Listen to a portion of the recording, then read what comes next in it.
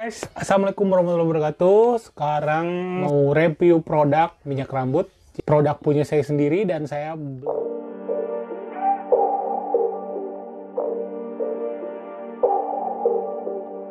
dan saya beli lagi dari Gatsby. Saya reviewnya produk yang banyak di market, jadi kalian bisa belinya gampang.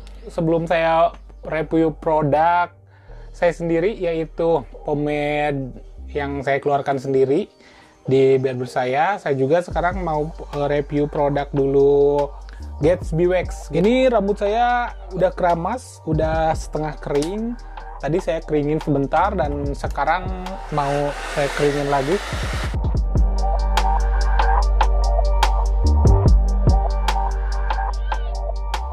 Karena saya sekarang lagi di rumah jadi nggak ada peralatan yang khusus. Cuma ada sisir ini saja sisir punya nyokap gue. Saya pakai dan tadi bawa hair dryer. Cuma bawa hair dryer aja.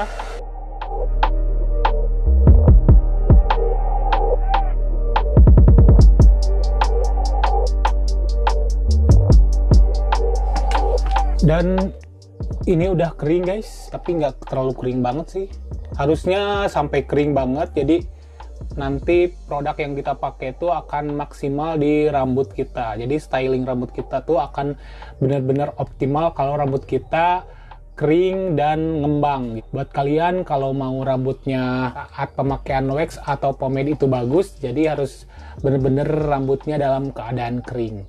Ini baru banget ya saya baru beli masih benar-benar belum dipakai. Soalnya saya sengaja beli. Saya nggak terlalu banyak uh, menggunakan hair product yang kayak pomade minyak rambut ataupun pom hairspray. Saya selalu dikeringin disisir udah. Cuman kalau ada acara-acara formal acara undangan atau acara-acara seminar saya pasti pakai produk rambut. Jadi saya akan saya bandingkan produk Gatsby Wax sama produk yang saya punya Pemudai pomade uh, buatan saya, produk brand saya sendiri. Jadi kita coba dulu ya ini yang wax.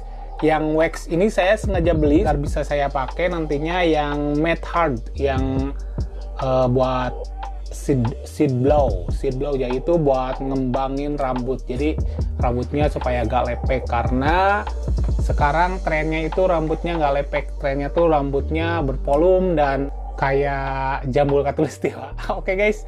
Kita cobain aja ya. Ini creamy banget nggak kayak clay. Ini benar-benar creamy banget dan uh, lembut. Harum harum seperti Gatsby yang lainnya. Sebelum saya pakai biasanya saya gosokkan dulu ke tangan sampai agak panas. Kayaknya ini kurang guys. Saya mau ambil lagi sedikit. Dan langsung saya aplikasikan ke rambut.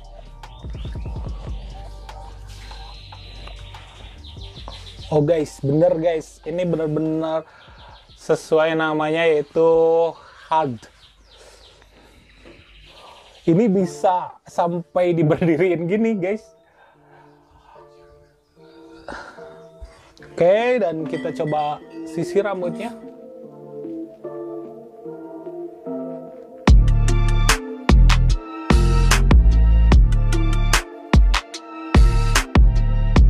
Ini saya agak kurang suka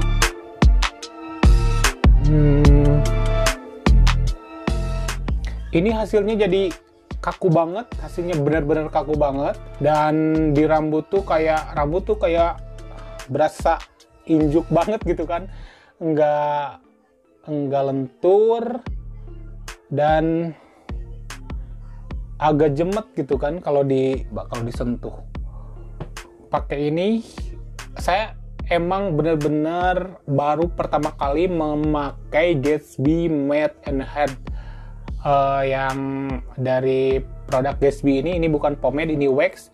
Jadi ra perasaannya rambut tuh kaku banget kaku banget. Kayak injuk. Kayak nyerek kayak injuk ya. Pokoknya kaku banget. Dan saya akan cuci lagi rambutnya. Saya akan coba yang versi pomade nya yang ini.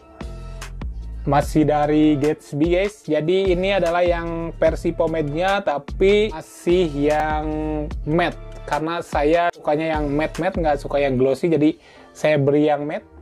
Ini masih baru. Saya akan cuci dulu rambutnya jangan ke mana-mana dulu. Jangan lupa subscribe. Uh, saya sudah keramas. Keramas lagi. Soalnya kalau mau mencoba produk yaitu satu produk jadi rambut kita harus benar-benar nggak ada produk lain yang nempel. Jadi nanti reviewnya juga akan maksimal gitu. Oke jadi saya akan keringi dulu ya.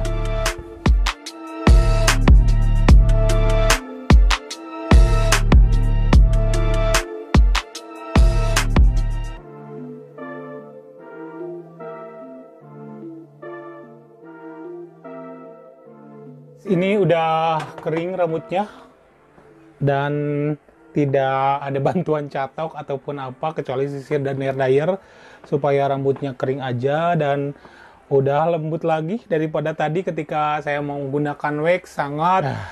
Hmm, sekarang saya akan coba masih dari produk Gatsby yang versi pomade-nya yang ini. Kita coba. Ini baru ya guys. Baru belum saya pakai. Gosokkan ke telapak tangan lagi hmm.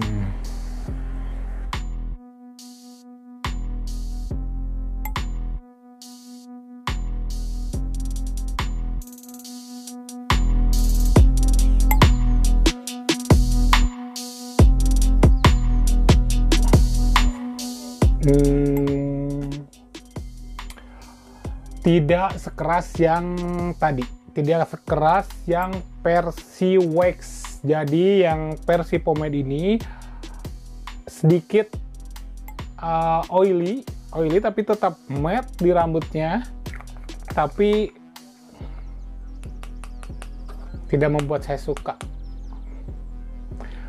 Jadi kesimpulannya yang versi pomade ini hmm, membuat rambutnya sama kayak tadi menatanya sama tapi yang versi pomade ini tidak terlalu kaku kayak yang versinya wax. Memang dari namanya juga beda kan, yang tadi wax, yang ini pomade. Jadi yang versi pomade lebih ada sedikit uh, oily. Jadi saya rekomendasikan yang versi wax buat rambut kalian yang tipis, lemes, dan sedikit ikal.